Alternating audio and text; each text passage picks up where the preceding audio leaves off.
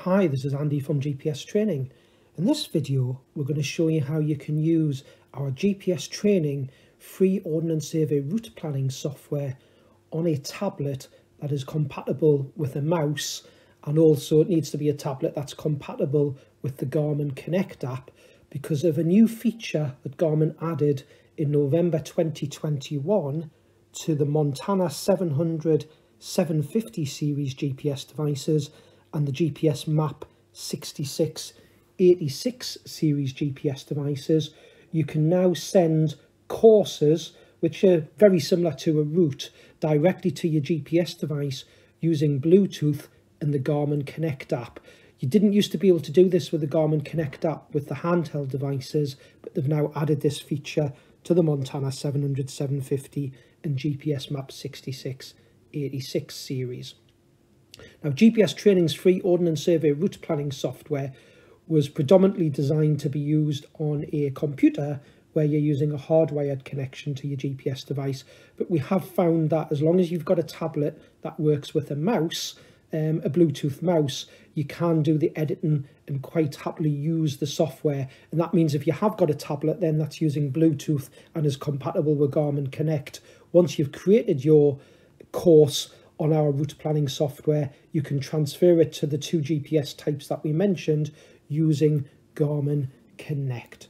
So I'm on using a iPad today, so it's one of the new generation iPads with a Bluetooth mouse, and I've went onto the homepage of our website, gpstraining.co.uk. It's a little grey circle you can see on the screen, which is my mouse moving around. So I'm just going to move that onto the menu at the top and I'm just going to go on to OS Planner.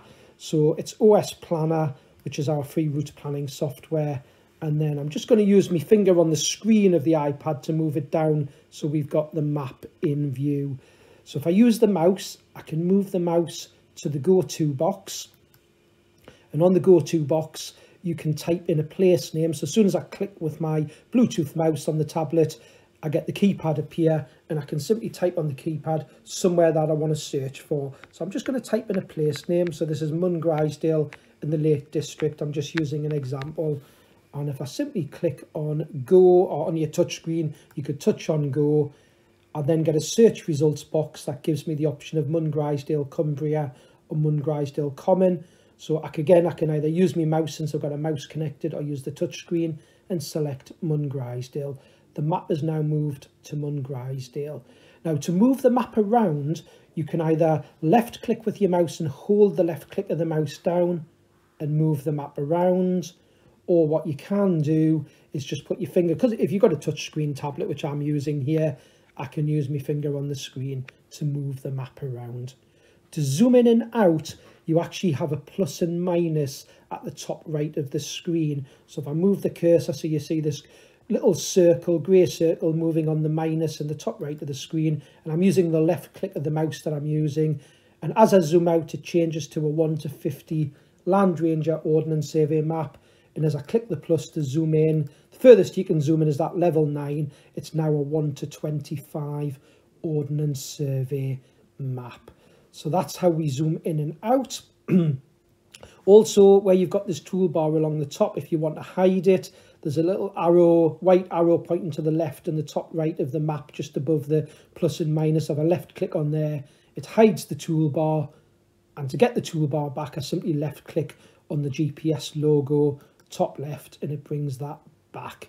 So it's as simple as that really. There's all we're looking at on here is moving the map around, zooming in and out using that plus and minus, and the fact you can use the search box as a go-to. You can't actually type a grid reference in there, so if you've got a UK grid reference, you can type in your first two letters of the grid reference. Um, you normally get your map sheet number, so an example could be NU. Um, you can see on the screen you're actually in this little red box just hide the keypad a second. In the red box, it's got longitude and latitude, but it's also got NY, 366306, which is the grid reference um, for where the map's centred at the minute. So you can type the grid reference in that format. This is the Ordnance Survey um, grid reference in the search box and select go and it will centre the map on a grid reference. So all I'm going to do now is actually plan a simple route and show you how you can download it to the downloads on your tablet. So again, I'm using an iPad today, so it is iOS I'm using today. We are going to do a video showing a mouse connected to an Android device. Um, it's actually a phone, but it could be an Android tablet again, as long as it's compatible with a Bluetooth mouse and compatible with Garmin Connect. You'll be able to do exactly the same as what we're doing on this new generation iPad today. So just to show you how we simply do a route, I'm just going to zoom out a little bit and I'm just going to move the map by putting my finger on the screen. You've got to be careful you don't accidentally tap on the screen, otherwise that actually starts your route creation. So I know you can't see me doing this on the video, but if I just tap with my finger on the screen, there's a little blue dot appeared in the sort of middle of the screen and the top left of the map you can now see where it says your route so if you accidentally see that happen and you didn't mean to start your route you simply move the cursor of your mouse to the little uh, grey cross where it says your route to the right of your route and left click on there and it will close it down.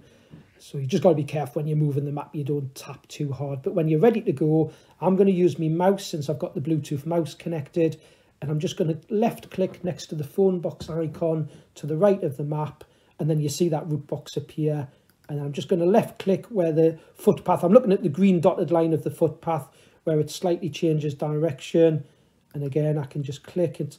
You've got a maximum number of points with the new range GPS devices, which is 250. So as long as you don't mark more than 250 points. And you actually see in this box that appears, if I use my finger and actually just scroll up by touching the box, it's showing you that I've got 12 points at the moment. So it shows you how many points you're adding. So again, I'm just clicking with the mouse and then I'm going to move the map just gently using my finger and move it across the screen. I'll just add one more point. So that's just the basics of planning a route by simply clicking on top of the footpath where you want to mark your points. Try not to put too many points and you don't have to do every little turn. Um, but I've got 18 points marked there and you see in this your route box, I'm just using my finger up and down to scroll up and down it. It actually gives you the length in miles in kilometres, gives me the ascent and it actually uses the Naismith rule to work out roughly how long it should take me to walk this route. If I've got a bit in the wrong place or a bit I don't want, where you see the little blue wording delete next to each of these numbered points in the your route box, if I simply touch on where it's got number 18 and the 644 meters, which is the elevation, if I touch on delete and then just keep hitting delete, it deletes out the points that you've marked. So that's how you can delete points out. And then simply if I move the cursor and left click once more, it puts that point back in on the map. Now, if you want to edit the route, all you've got to do is move the cursor with your mouse onto one of the little circles that you can see that are these sort of what I would call via points that make up your route. And then once you're over the point, you just hold the left click of your mouse down. Just do that again, sorry. I've actually added a point by mistake at the end. So I'm just going to delete that one out. So I'll just touch on the delete and delete again just I've went too far so I'll just add that back in. So I'll do that again. So to move it's just a left click on the point and then you drag and let go. So one don't hold the left click down. That was my mistake. It's just a single left click drag. If you do do that you've just got to come off it by touching on the map. If you get that screen come up where you accidentally get that box. So just a gentle left click move and let go. I'll just move those points back onto the route. So it's just moving the cursor over the dot one single click and then you just move with the left click held down gently you just move your mouse to adjust the route. So that's how you can edit your route. Um, if you've made a mistake and you want to line it up a little bit better. When you're ready to go and you want to save the route you simply scroll down on that your route box. I'm just using my finger on the screen. I find that easier on them um, when i want to scroll down. And you can see it's got the wording download gpx so if I touch on download GPX, that will download it. One thing I forgot to mention, just at the top of your route box where it's got the distances, etc. In blue wording, it's got the option of view profile. If I touch on view profile, you get an elevation profile box appear on the map. And to close that down, you just touch on the little cross or move your cursor with the mouse onto the cross. So if I just scroll down to the bottom of this box where it says download GPX, so I'm just going to touch on download GPX and then it says, do you want to download? Now it says new route. That's because I haven't given it a name. So I'm just going to close that down a second. And what I should have done is renamed it. So where it says name at the top and it says new route, I'm now just going to move my cursor in there and click in there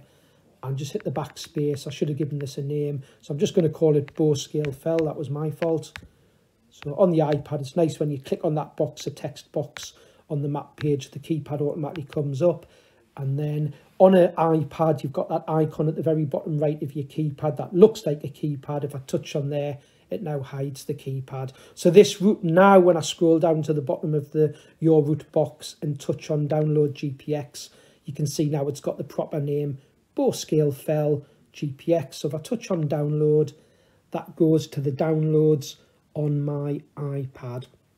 Now, when you download on an iPad, you actually get the top of the screen there's actually a blue down arrow with a circle that's showing you where my downloads are. So if I touch on that arrow at the top, it shows you downloads that I've done. So if I look at that one I've just downloaded that says Bow Scale Fell, or if you, obviously you'll know your own iPad, you find the folder in your iPad called Downloads. So if I touch on Bow Scale Fell now, it opens it up with a load of text, which obviously isn't going to help me.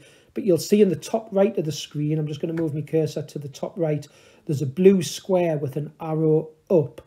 If you click on that, you then get the option to open the bow scale fell with Garmin Connect. So you do need Garmin Connect to be on your iPad and set up with your Garmin account and paired with your GPS device. So those you um you're using our online training resource that you get for free for a year when you buy a GPS device from us. The online training resource that you log on to from the homepage of our website under online resource. For the Montana 700, under module module 13, we have the videos on how you pair your Montana 700 with Garmin Connect and get Garmin Connect set up.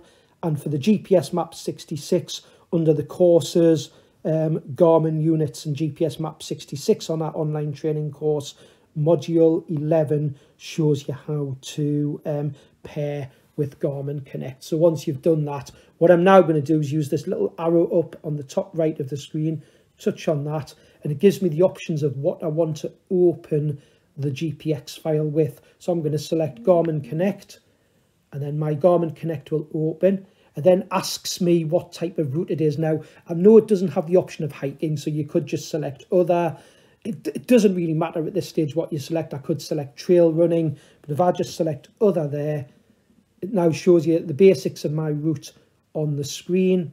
And if I scroll down, I can see the elevation, but you'll see the course name. It's just given it a generic name. So where it says course name, I'm going to touch on there and just use the little back arrow to delete the name and give it a proper name. So it does rename it for some reason, even though I called it bow scale fell on my download. So I'm just going to rename this bow scale fell and then hit the return. That's that done hit the little blue back arrow next to course name and you'll see that's now bow scale fell and if I just touch on save in the top right and I'm just going to leave as private I'm not sharing it with anyone else via my Garmin Connect app that's now saved as a course and you see the three blue dots at the top of the Garmin Connect app if I touch on those I get the option send to device. And as long as you've got your GPS device turned on and you have paired it with the Garmin Connect app, as per our videos on the online resource that I mentioned earlier, I just simply say send to device.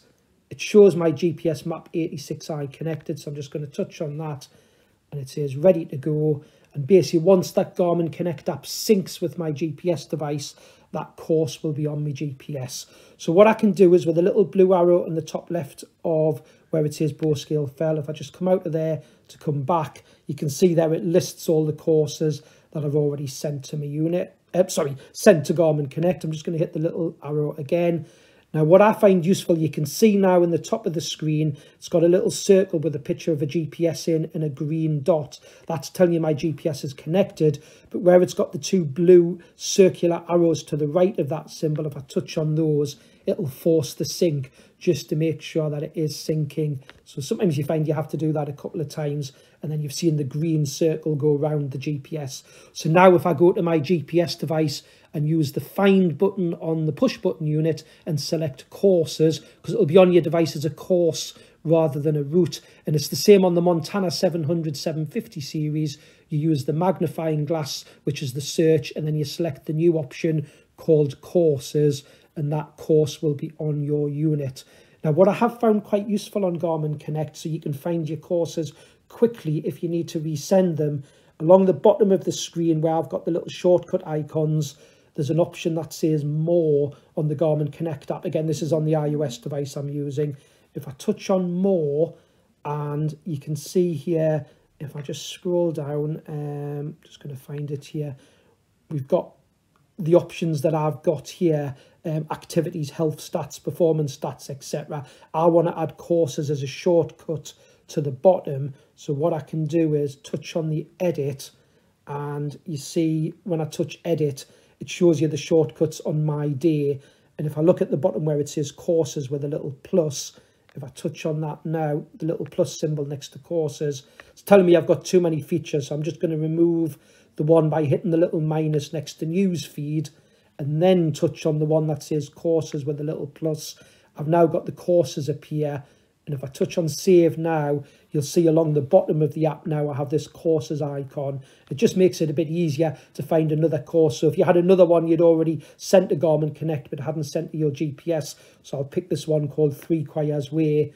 Again, I then just simply touch on the three blue dots at the top and say send to device and do exactly the same as what I did before, 86i, and then I sync it. So I come, little blue arrow to come back out, little bottom of the screen where it says my day, I'm just going to touch back on there. I could see that's automatically synced at the top, but if it hadn't, I could just touch on those two blue arrows again. So I hope you found this video useful on using your um, our free Ordnance Survey route planning software on an iPad that is compatible with a Bluetooth mouse and also the Garmin Connect app. Please have a look at the online resource on the videos that go into more detail on using Garmin Connect with the GPS devices. I know some customers have used our route planning software without a mouse, but you will find it quite hard to do the editing. So it is better if you can pair a Bluetooth mouse with your iPad tablet. And thanks for watching.